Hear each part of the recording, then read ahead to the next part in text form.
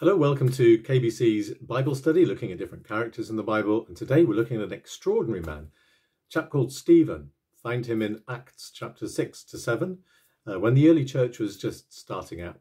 We read about him, he's described in this way He's a man full of faith and of the Holy Spirit. And he's something of a mystery, I guess. He appears briefly in these chapters and then disappears. Uh, we don't know much about him other than probably Jewish and Greek uh, background. We don't know if he had a family, a wife, children, or even how he became a follower of Jesus Christ. But we do learn a lot about his character in these two chapters, chapters 6 and 7 of, of Acts. And Carl Beech, the writer of the devotional we've been looking at, he lists his, uh, his characteristics, his qualities that make him extraordinary. And here's just a few. He was full of the Holy Spirit. He knew the scriptures well. We have a record of his message in chapter 7. We have um, evidence of a servant heart. He was willing to serve in chapter 6. He performed miracles as reference to that. He was a brilliant communicator. We know that because of the message. He was brave. He didn't back down in, in the face of an angry mob when confronted with them. And he, ultimately, he died speaking out for what he believed in um, and saw heaven open up before him in a miraculous way. In short, he was the kind of Christian that we aspire to be like. Um, you could describe him as Christ like. So, verse 8 of chapter 6 says, Now Stephen, a man full of God's grace and power, performed great wonders and signs among the people. wow. But you, you get the sense that he wasn't the kind to make a big show of it. Um, he was happy to be in the background most of the time. Uh, and in chapter 6, we read about a dispute about food being distributed unequally among the poor the, the Hellenistic, that's the Greek speaking widows, excuse me, were missing out, or they were seen to be missing out or ignored. And he was chosen by the leaders, along with others, to ensure the correct distribution of food to these widows. And it was a tricky task. Yeah, you know, he had to deal with people who were complaining, uh, all sorts of uh, difficult, sort of, uh, I suppose you might call it, conflict resolution problems um, to deal with, but he could be trusted to do it wisely and efficiently. Maybe it was his Hellenistic and Jewish background uh, that perhaps helped him to understand both communities and later to preach to both audiences. So this shows how God uh, can use our, our past, uh, our qualities that we already have uh, to help shape our testimony and our witness to others. Excuse me. the dispute was sorted out. The poor was fed. But furthermore, Verse 7 of chapter 6 says that the word of God spread. The number of disciples in Jerusalem increased rapidly, and a large number of priests became obedient to the faith. Such was the response to Stephen and to his companions. So from verse 9 onwards, however, there is another conflict, and this one does not end in resolution. This was through no fault of Stephen. Uh, he began to experience opposition arguments from members of the synagogue. Um, they called the synagogue of the freedmen. I think that was people who were once slaves, Jews of Cyrene and Alexandria, as well as provinces of Cilicia and Asia, who began to argue with Stephen, it says. Uh, verse 10 But they could not stand up against the wisdom the Spirit gave him as he spoke. So he was a wise, a wise chap.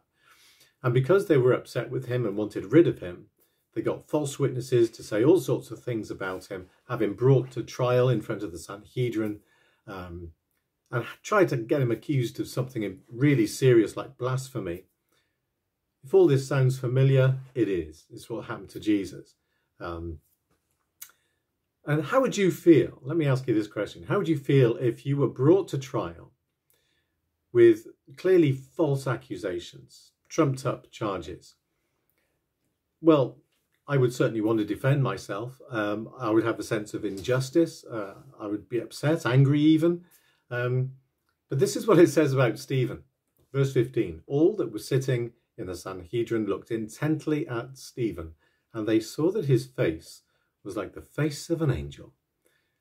if I was being falsely accused of something, I don't think I'd have the face of an angel. I think I'd have a pretty bad scowl on. But his face was not like that, it was shining.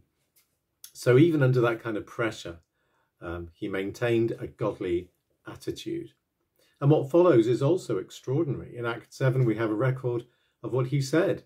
And it's an amazing message. He outlines the, a detailed history of Israel and their relationship with God. It's an epic story. And God inspired him to speak this boldly, culminating in describing Israel's failure to recognize Jesus, the Messiah, rejecting and murdering him, just as they'd done, excuse me, with the prophets and faithful men throughout Israel's history and throughout the generations. And Stephen's speech was an indictment against Israel and their failure um, as the chosen people of God who'd been given the law, the holy things, and the promise of the Messiah to do as they were chosen to do. So naturally, these accusations, though true, were not received well by the Jews, and they falsely accused him of blasphemy and sent him out to be stoned. And it makes for difficult reading. Um, knowing he's innocent, knowing that he's such a good guy, and he then becomes the early church's first martyr. And we may ask God, why did you allow that to happen? And Carl Beech in his devotional says, the reality of God's love may seem incompatible with suffering and martyrdom, the kind experienced by Stephen. But what's clear to me in this account is that uh, Carl Beech says, just before Stephen's murder, God cocooned him, as it were, in his presence. Acts chapter 7, verse 55 and 56 records some of the final moments um, of Stephen's life, just before he stepped through the veil between heaven and earth. But Stephen, full of the Holy Spirit, looked up to heaven and saw the glory of God and Jesus standing at the right hand of God. And incredibly, his last moments, he even prayed for forgiveness for his murderers. That's truly Christ-like, isn't it? the words of Colossians chapter 3, verses 2 to 3 could have been written about the life of Stephen, even though they are applicable to all believers. Says, Set your minds on things above, not on earthly things, for you died, and your life is now hidden with Christ in God. See, the, the life of Stephen kind of stands as a, an example to us all to draw close to Jesus, to be full of his Holy Spirit, and to follow Jesus wherever he leads and whatever the cost. Well, thank you for listening. God bless. Bye for now.